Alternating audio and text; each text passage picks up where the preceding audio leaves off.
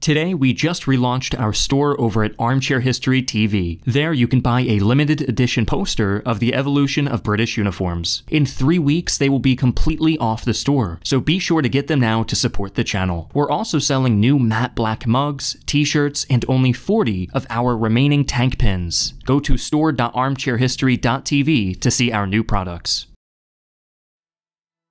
While the British Army played a vital role in defeating the Axis, its biggest contribution was arguably breaking the Enigma code, which let the Allies decipher German plans as if they had been posted on the internet for everyone to look at. If you don't want your secrets falling into the hands of enemy intelligence agencies, I highly recommend NordVPN, which uses military-grade encryption to hide your IP address and location from the ISP provider and any other undesired looks. But NordVPN doesn't just protect you. If you're an aspiring history student, NordVPN gives you access to 5,200 servers in 59 countries, letting you change your virtual location to bypass region locking and access historical materials, videos, and documentaries anywhere at any time. NordVPN also keeps your navigation safe from enemy threats or baits. Cybersec automatically blocks you from navigating websites known for phishing, malware, or spyware. Fans of the Armchair Historian can also take advantage of a unique discount account by going to nordvpn.com slash historyvpn to get 73% off of the two-year plan with four additional months for free. Try today without risk thanks to Nord's 30-day money-back guarantee.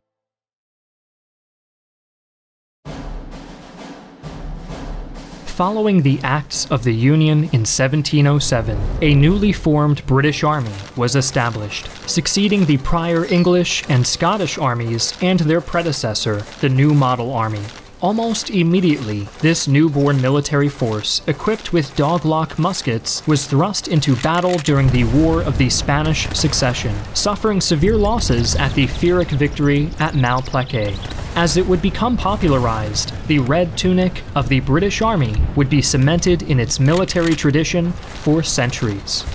In contrast to their lower ranked counterparts, the elite officer class brandished edged weapons as components of their status and position as leaders. This practice to carry such an item into combat would carry on for many decades into the modern era, although its practical use decreased over time defeating the French during the Battle of Warburg, along with their Hanoverian allies. British grenadiers during this time were equipped with Brown Bess muskets and their peculiar grenadier caps.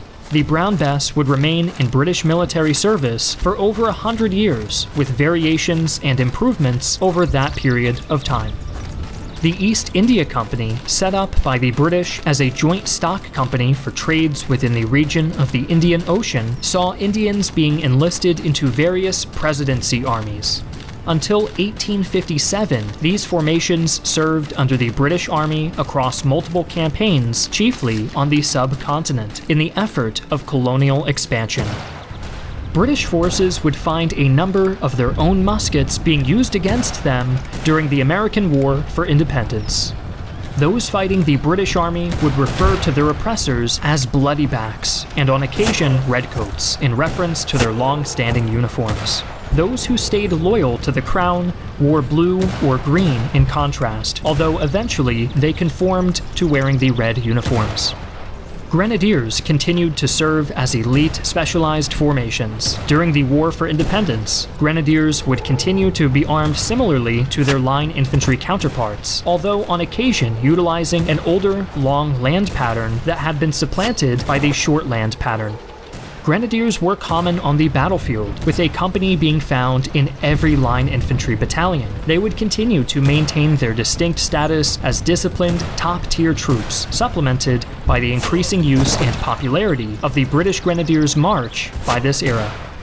In Portugal, a coalition landing force led by Sir Arthur Wellesley defeated the outnumbered French division posted near the village of Roliça. Catching the nickname of the Grasshoppers, riflemen of the 95th Rifles wore a more distinctive green uniform in contrast to their red line infantrymen counterparts. Although this was a popular color choice of similarly armed formations in the era, the color would become synonymous with various other British rifle formations in history. This would also see the acceptance and issue of the British-made Baker rifle, supplanting the older smoothbore muskets. In 1814, the British Army would return to the United States, making a drive for the White House itself and burning it down. Line infantrymen would continue to be armed with the India pattern Brown Bess musket, with minor improvements in standard equipment in comparison to their counterparts 40 years ago. While ultimately this was an inconclusive conflict, as both the British Empire and Canada and the US withdrew from their respective front lines, the Empire would continue to be engulfed in campaigns in Europe with the raging Napoleonic Wars.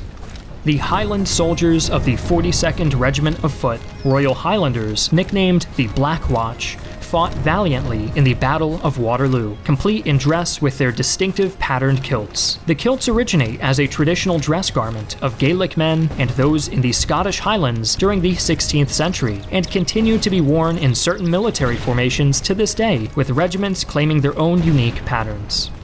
The British Army fought valiantly alongside their French allies in the chaotic Battle of Inkerman in 1854 the era saw the introduction of the rifle musket into British service, with first the P51 Minié rifle and then the P53 Enfield rifle musket. In the Crimea, the majority of the British infantry were armed with the rifle musket, although around one fifth of the infantry deployed at the beginning of the war still carried the smoothbore P42 percussion cap musket.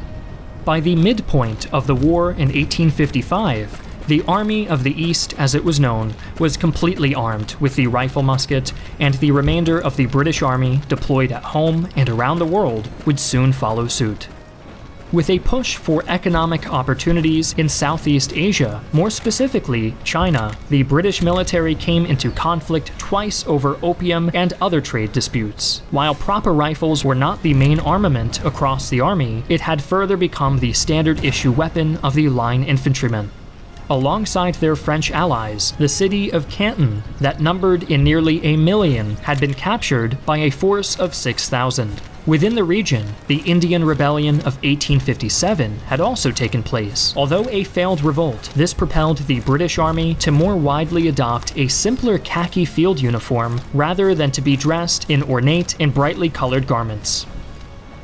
Although suffering a notable disaster at Isandlwana in January of that year, Rorke's Drift fought later the same day, was a hard-fought victory for the British Army. Although continuing to be clad in their traditional red and blue uniforms, they were armed with the relatively new and very effective rifle, the Martini Henry, which had replaced the recently adopted Snider Enfield rifle. Although this was a time of significant tactical change in the British Army, it was found that more traditional close order tactics were found to be most effective against the swift-moving and aggressive Zulu army the 24th Regiment of Foot and Gonville Bromhead would be immortalized in their actions in the 1964 film Zulu. The traditional red uniforms had, by this era, become a true liability in combat. To counter this, khaki now became the authorized dress for all foreign service in the late 1890s. The Boer Wars, notably during the disastrous events of Black Week and Bloody Sunday, taught many lessons to the British Army in fieldcraft, musketry, and logistics. These lessons would be refined and would stand the British Army in good stead as it entered the Great War. This era also saw the introduction to the Lee family of rifles, which would be in British military service throughout the 20th century. By the start of the Great War, the bright uniforms and flashy color facings were long done away with for field service. In their place was an improvised khaki service dress that allowed the soldier to better blend in with his surroundings. The main weapon for the average rifleman was the Mark III SMLE, the officer corps wore mostly the same khaki colored uniform as their enlisted counterparts. It was privately purchased, of normally higher quality, and differing in detail. In addition to a traditional sword at their side, most carried the Webley Mark VI revolver. Across all ranks, a simple peaked cap with a regimental badge was worn. head injuries increased significantly as soldiers who would have died otherwise were now better protected from above. This steel combat headgear cemented itself as part of the British soldier for several decades until the 1950s, as well as seeing use by the American Expeditionary Force and US military as a whole until relegated to civilian use in 1941. With the ferocious blitzkrieg across Western Europe, the British Army was pushed further and further to the coast of Dunkirk, where an evacuation of colossal scale took place. Along with the iconic No. 1 Mark III Lee Enfield rifle, the rifleman was given a new battle dress, a full wool ensemble worn by all ranks with the distinct waist-cut top that influenced the Ike jacket the United States would adopt in later years. Formulated by David Stirling under the name L Detachment, this commando force would be used to operate behind enemy lines not through airborne insertion, but via jeeps. During its second mission during Operation Crusader, it successfully destroyed over 60 enemy aircraft. Notably, the parachute wings of this elite unit were prominently worn above their left pocket. Stirling, the SAS's brainchild, stated that the wings were treated as medals in their own right. During their operations, they adapted the tropical uniform for the desert heat. Dating back to the Board of Ordnance in the 15th century, the British Royal Engineers have been responsible for all military engineering and technical functions as a combat support service in the British Army as a whole. Sappers in this role would have responsibilities in fortifying defenses as well as handling mines, both to plant and defuse, especially in the flat, open terrain of North Africa. The Dieppe raid, formerly known as Operation Jubilee, was an operation all too similar to what the D Day landings would pursue two years later. The American made Thompson submachine gun, given to British commandos, allowed a single soldier an increase in available firepower. The commandos themselves were formed from volunteers and trained for raids within German occupied Europe at the request of Winston Churchill. It should be noted that outside of the commando force, nearly 80% of troops allocated to this operation were Canadian. Unfortunately, this would be a failed operation to test the mettle of Hitler's Atlantic Wall. Operation Market Garden became widely known as the largest, yet most disastrous Allied airborne operation. Despite this, the Red Devils of the British Parachute Regiment fought tooth and nail against their heavily armed enemy, which also included their German counterparts, the Fallschirmjäger. Their signature red beret and wings were the icon of the airborne force. By this point, the Sten submachine gun had been improved, with a rear sight derived from the standard bolt-action rifle and a higher degree of manufacturing quality. The Denison smocks became the first major widespread adoption of camouflage by the British Army and would continue to be used for decades the British Army deployed the 27th Commonwealth Brigade during the Korean War, being made of British, Canadian, Australian, Indians who served as medics, and New Zealanders. A uniform developed for the warmer climates was issued for troops first arriving in Korea, although a winter uniform had been made up from US cold weather gear stocks, worn on top of a warm jumper. Ultimately, the armament and web equipment would remain similar as it did in the previous war. British Malaya would be engulfed in a guerrilla war, just as Vietnam would be a decade later. Communist forces fought for independence against the British. Ultimately successful in defeating the Communists, the conflict would see the resurgence of the Special Air Service and would also see troops from many parts of the Commonwealth, including Australians, New Zealanders, as well as a large contingent of Gurkhas the tough and hardy men from Nepal had considerable experience in jungle conditions, as had been found in Burma during the Second World War. These forces would be the strong backbone during this conflict, at the Iranian embassy in London, six armed men vying for the Khuzestan province's sovereignty had taken 26 people hostage for several days. By the sixth day, with no progress made for compromise, the SAS was deployed, rappelling down from the building's rooftop and making their forceful entry into the embassy the SAS forces were equipped with the reliable, German-made MP5 submachine gun, a popular, now iconic choice for many police and special units. The operation overall was a resounding success, and thrusted this elite unit into the public eye for the first time, and the SAS was looked upon for expertise for counterinsurgency tactics. April 2, 1982 kicked off the Falklands War, Argentina invaded the Falkland Islands and South Georgia the following day. In response, the British forces deployed a naval task force to counter the Argentinian forces and conducted an amphibious assault on the islands. The riflemen conducting the assault were issued the L1A1 self-loading rifle, a British-made licensed copy of the Belgian FN FAL, and by this point, camouflage uniforms were standard for the British Army. The conflict would end within 10 weeks, although interestingly, this was never a declared war between either nation. With the onset of the Gulf War, the British Army deployed alongside coalition forces. Like other nations operating in the Middle East, a desert camouflage uniform was created to blend in better against the arid terrain. The British rifleman was now given an assault rifle, the LA-85A1. Although several flaws had been discovered from its service in the sand-dominated environment, these were improved upon when the war in Afghanistan began in 2004. Adopted in 2010, the multi-terrain pattern replaced both the original DPM and desert patterns. In a way, the British Army accomplished what the US failed in adapting an effective universal camouflage pattern. During this time, the A3 upgrade was applied to the current service rifle to address various flaws and make improvements as the years went on all soldiers complete their 14 week basic training at Army Training Center Pirbright, as well as the necessary skills and trades for their chosen service within the Army.